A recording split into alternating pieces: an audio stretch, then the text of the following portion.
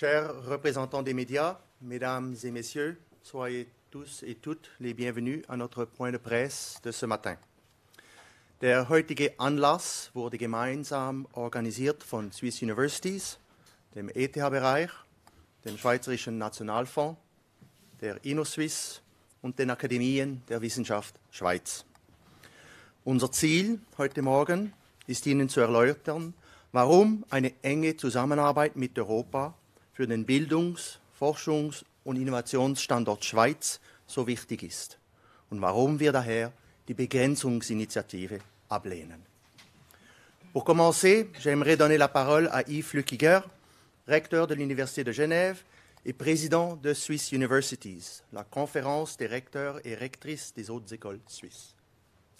Mesdames et messieurs les représentants de la presse, euh, mesdames et messieurs, la question euh, qui est posée à la population suisse le 27 septembre peut se résumer de la manière suivante. Quel avenir pour notre jeunesse? Quels outils voulons-nous donner aux jeunes aujourd'hui qui vont construire l'avenir de notre pays?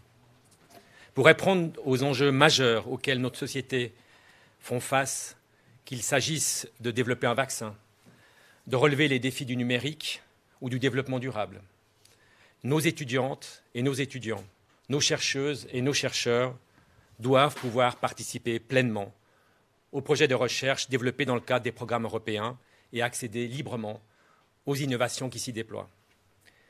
Le succès des hautes écoles, mesdames et messieurs, se répercute sur l'économie du pays, mais aussi sur la qualité de vie de nos concitoyens, mesurée notamment en termes d'éducation, de solidité du système de santé et aussi de création de nouveaux emplois. Une économie forte est aussi la garante de la pérennité de l'État social et le socle indispensable au développement d'une société plus durable, plus sociale et plus égalitaire. Près de 50% des partenariats de nos groupes de recherche sont établis avec l'Europe. Les programmes européens sont à la fois source de compétition et de collaboration. L'exclusion de ces programmes, suite à l'acceptation de l'initiative contre l'immigration de masse en 2014, a eu un impact massif sur notre pays, sur nos universités, pour nos équipes de recherche, mais aussi pour les étudiantes et les étudiants. Mesdames et messieurs, j'aimerais illustrer l'importance de cette initiative, du vote du 27 septembre, à travers deux exemples qui illustrent l'importance de la libre circulation et de la recherche. Premier exemple, celui de la professeure Isabella Eckerle, qui est responsable du centre de recherche sur les maladies virales émergentes à Genève, qui a joué un rôle central dans la lutte contre le nouveau coronavirus. C'est son laboratoire qui a été en mesure de mettre très rapidement au point un des premiers tests diagnostiques dès le 16 janvier 2020. Dans les premiers temps de la pandémie, le centre a ainsi été chargé de réaliser les tests de confirmation sur tous les échantillons prélevés en Suisse. Isabella Eckerle est née il y a 40 ans à Spire, en Allemagne. Elle a commencé à s'intéresser à ce type de virus en 2011, lorsqu'elle travaillait encore à l'époque à Berlin, dans l'équipe d'un spécialiste mondial du coronavirus. C'est grâce aux échanges entre les deux laboratoires, entre la Suisse et l'Allemagne, que les tests diagnostiques ont été mis au point en Suisse. Le deuxième exemple, celui des services industriels de Genève, qui se sont récemment équipés d'une solution de sécurité quantique pour protéger les transferts de données entre leurs data centers. Ils ont fait appel à la firme genevoise ID Quantique, une spin-off de l'Université de Genève. En 2018, la Commission européenne a lancé le Quantum Flagship, doté d'un milliard d'euros sur dix ans, dont le but de soutenir la recherche en physique quantique et ses applications industrielles. La Suisse est fortement impliquée dans cet énorme programme qui vise à développer les technologies du futur qui permettront de renforcer la sécurité d'infrastructures clés dans le domaine des télécommunications, de la finance et de la santé. La Suisse coordonne deux des 20 projets qui ont été sélectionnés pour la première période. Et quatre institutions suisses figurent parmi les lauréats.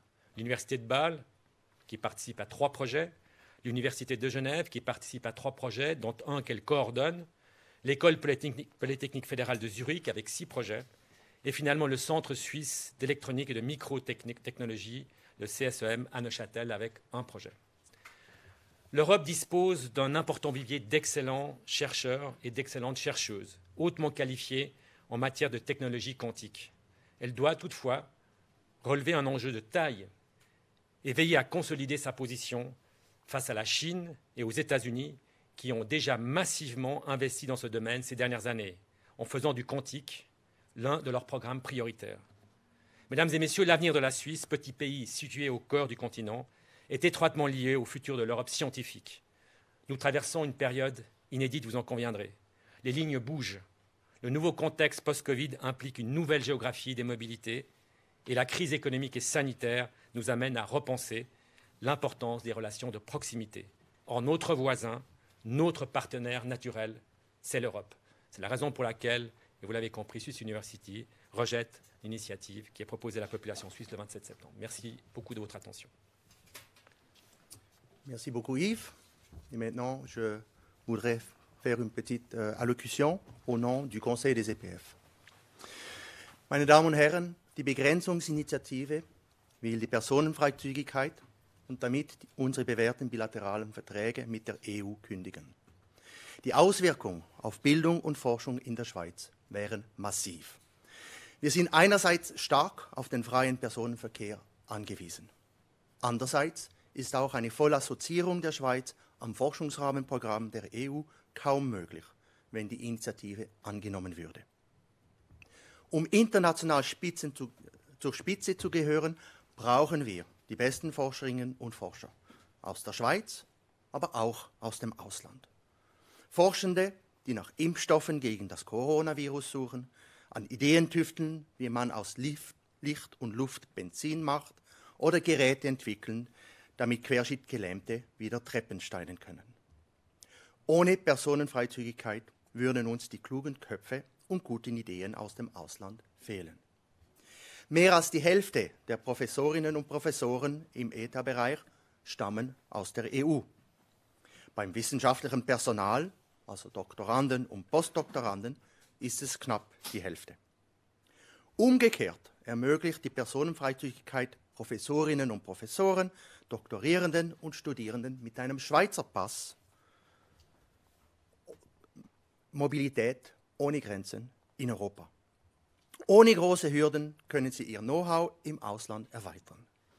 Die grenzüberschreitende Mobilität bereichert die Schweizer Forschung und stärkt die internationale Vernetzung unserer Hochschulen. Ich selbst habe sehr von der Offenheit der Schweiz und vom Austausch mit dem Ausland profitiert. Mein Vater ist in der Schweiz aufgewachsen. Nach einem Studium an der ETH Zürich ist er nach Kanada ausgewandert, wo er Professor wurde. Drei Jahrzehnte später schlug ich den Weg in der Gegenrichtung ein und kehrte zurück in die Schweiz, ebenfalls als Professor. Wir haben beide, mein Vater und ich, viel gelernt im Ausland. Und meine Geschichte ist kein Einzelfall. In meinen Diskussionen mit jungen Forschenden bin ich immer wieder beeindruckt, wie sehr sie alle von ihren Auslandserfahrungen profitiert haben.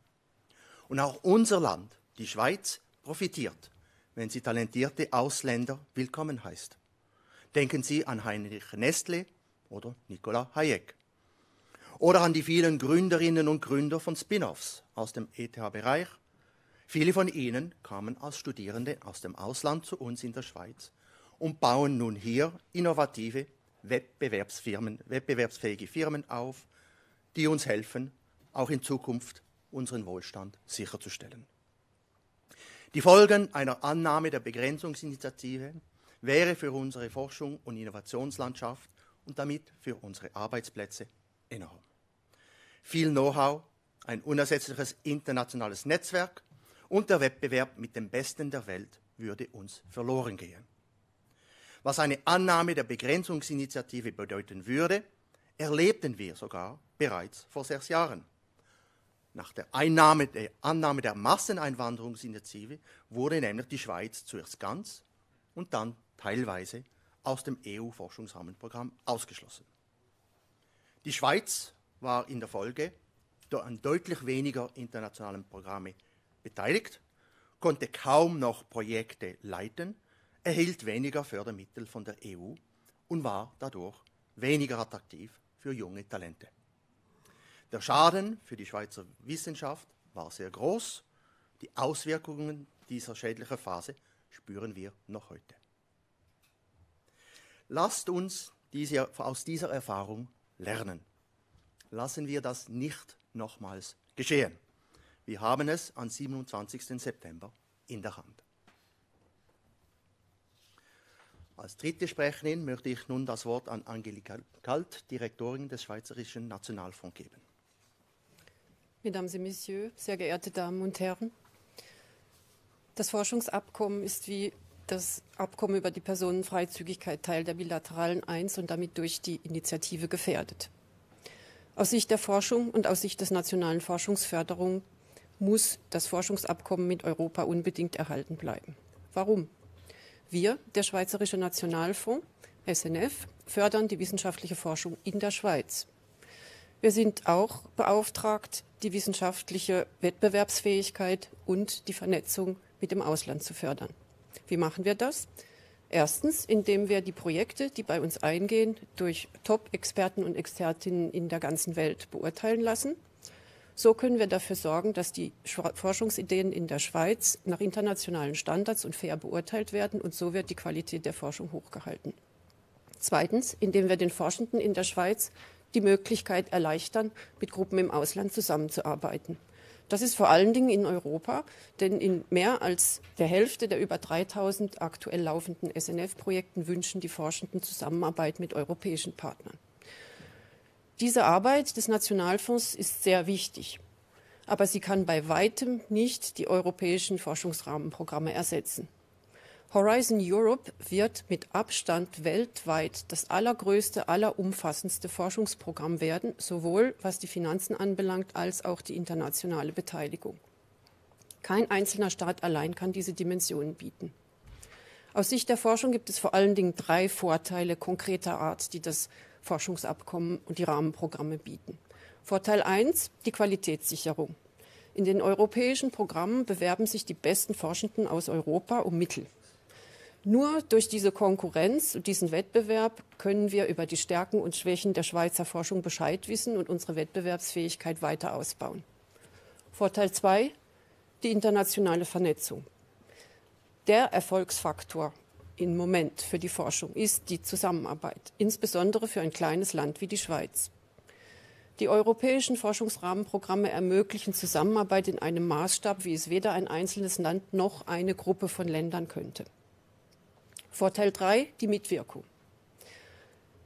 Durch die Assoziierung kann die Schweiz zusammen mit den europäischen Mitgliedstaaten den europäischen Forschungsraum gestalten. Bei einzelnen Programmen sitzen wir gleichberechtigt mit am Tisch. Meine Damen und Herren, die bisherige Assoziierung der Schweiz an die Rahmenprogramme ist eine Erfolgsgeschichte. Und wir glauben, dass die Schweiz heute nicht die international hoch angesehene Wissenschaftsnation wäre, die von ihrer Bevölkerung zu Recht bewundert wird. Ohne Abkommen ist das nicht möglich. Ohne Abkommen ist es auch nicht möglich, neben Krisen wie Covid-19 die globalen Herausforderungen wie zum Beispiel den Klimawandel anzugehen. Die besten Forschungsteams in Europa müssen schnell und gut zusammenarbeiten können. Ich danke Ihnen für Ihre Aufmerksamkeit und gebe gerne das Wort an Claudia Appenzeller von den Akademien Schweiz. Vielen Dank, sehr geehrte Damen und Herren, egregi Signori e Signore, ähm, Mesdames et Messieurs. Können Satellitendaten zur Schwerkraft der Erde genutzt werden, um Flut- und Dürrekatastrophen hervorzusagen? Was passiert auf Zellebene, wenn im Gehirn Neuroinflammationen auftreten, welche mit Multipler Sklerose oder mit Schlaganfällen in Verbindung gebracht werden. Solche Fragen können nicht im stillen Kämmerlein beantwortet werden und schon gar nicht in der Schweiz allein. Dazu braucht es Netzwerke, Netzwerke innerhalb von Europa zwischen Public und Private. Solche Fragen braucht es, ähm, für solche Fragen braucht es kollaborative Pro, ähm, Partner und Netzwerke, welche über unsere Landesgrenzen hinausgehen, mit Partnern aus Hochschulen, aus KMUs und aus der Industrie. I progetti di ricerca collaborativi richiedono l'intenzione fra diversi partner provenienti dal mondo universitario delle PMU, dall'industria, che abbiano un obiettivo comune. Il più delle volte non è possibile trovare tutti questi Partner nella sola Svizzera. Die EU-Forschungsrahmenprogramme bieten Förderinstrumente, welche das Forschen in Netzwerken erleichtern. Zum Beispiel die Industrial Leadership Programme, bei welchen Hochschulen und Industrie und Betriebe aus verschiedenen Ländern gemeinsam anwendungsorientiert forschen. Durch die, den Austausch der Ideen bleiben sie wettbewerbsfähig. Und es entstehen eben solche wahnsinnigen Ideen eigentlich aus Satellitendaten zu Gravitationsfeldern plötzlich Dürrekatastrophen oder Flutkatastrophen hervor, ähm, zu, äh, vorherzusagen. Durch den Austausch der ähm, neue Wege geht auch das Initial Training Network des EU Marie Curie Programms. In einer Art Graduate School ähm, kommen Doktoranden aus verschiedenen Gebieten zusammen, lernen zusammen mit öffentlichen und privaten Partnern und erhalten ein Netzwerk und auch Einblick in Kulturen, wie man wissenschaftlich anderswo arbeitet. Damit legen Sie eine ganz wichtige Grundlage für Ihre zukünftige Karriere. Ähm, Nachwuchsforschende haben immer eine offene Zukunft vor sich. Und wenn Sie nur die Möglichkeit haben, sich frühzeitig zu vernetzen und Mentoren zu finden, auch auf internationaler Ebene, dann ist der nächste Schritt ins Ausland schon vorbereitet. Und genau solche Programme für Netzwerke bietet die Europäische Union. Damit legen die ähm, Forschenden wichtige Grundlagen für ihre zukünftige Karriere an Hochschulen oder auch in der Industrie. Schweizer Mitglieder in den europäischen Konsortien sind zufrieden mit dem, was sie erhalten. 87 Prozent wollen mit den internationalen Partnern weiterarbeiten, auch wenn das Projekt fertig ist. Und viele erachten die Form des kollaborativen Arbeitens noch viel wichtiger als das große Geld, das sie dabei erhalten. I programmi quadri dell'UE sono molti, molto apprezzati, come dimostra il livello di soddisfazione dei membri svizzeri nei consorzi di ricerca. 47% infatti vuole continuare a lavorare con partner internazionali anche dopo la fine dei progetti e molti considerano questa collaborazione ancora più importante del finanziamento che ricevono. Der Wissens-, Forschungs- und Innovationsplatz Schweiz ist dank europäischer und internationaler Vernetzung weltweit führend. Das Europäische Forschungsrahmenprogramm gibt Schweizer Forschenden seit über 30 Jahren nicht nur Zugang zu Fördermitteln, sondern auch die Möglichkeit, neue Ansätze in Netzwerken zu entwickeln und sich mit den besten Forschenden zu messen. Heute sind wir gemeinsam hier weil wir in Sorge sind um unseren Wissenschaftsstandort, aber auch um die Schweiz. Wir warnen vor den gravierenden Folgen eines, äh, einer Annahme der Begrenzungsinitiative, die den Wissenschaftsplatz Schweiz nicht nur heute und morgen, sondern für ganz lange Zeit schädigen würde. Vielen Dank. Grazie, Claudia. Zum Schluss hören wir nun eine Botschaft von André Kudelski, Präsident der InnoSwiss.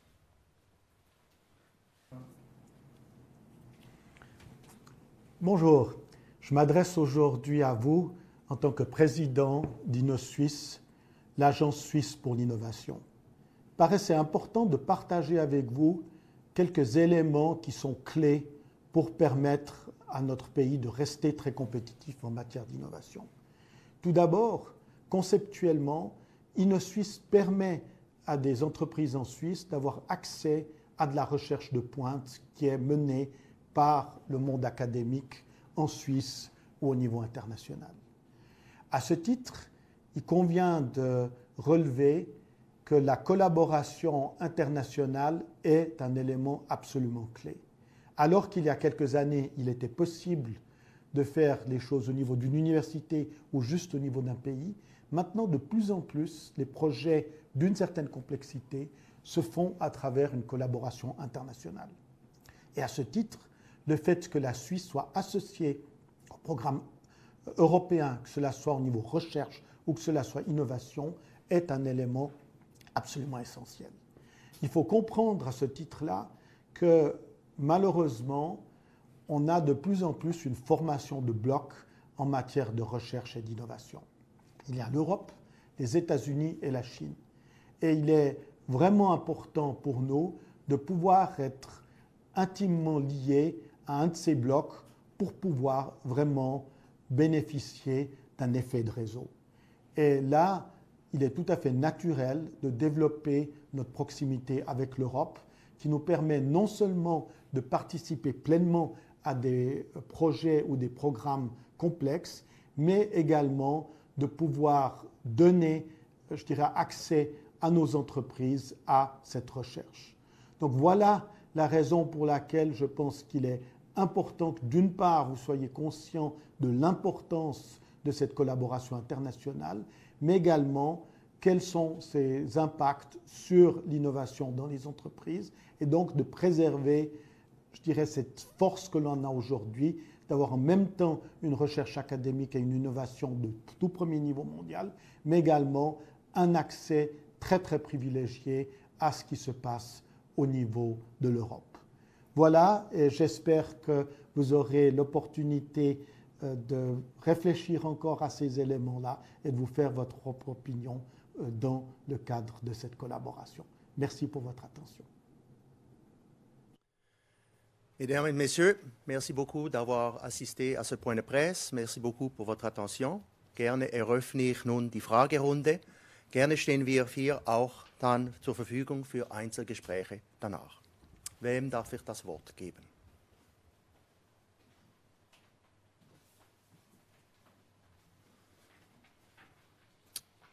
Wenn, ah, pardon.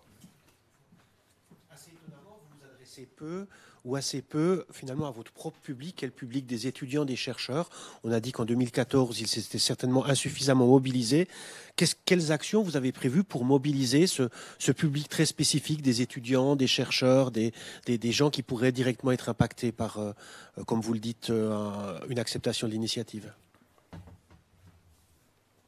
Alors, euh, je prends l'exemple de euh, la présentation qui a été faite dans le temps par les recteurs et rectrices des autres écoles euh, en Romandie, où l'Association nationale des étudiants était co-signataire de cette déclaration. Alors on est en discussion, on est en échange direct avec les étudiants, et, euh, je crois que les associations étudiantines sont possiblement le, porte-parole le plus convaincant pour les étudiants, plutôt que le recteur, la rectrice. On est souvent regardé un peu avec suspicion, disons.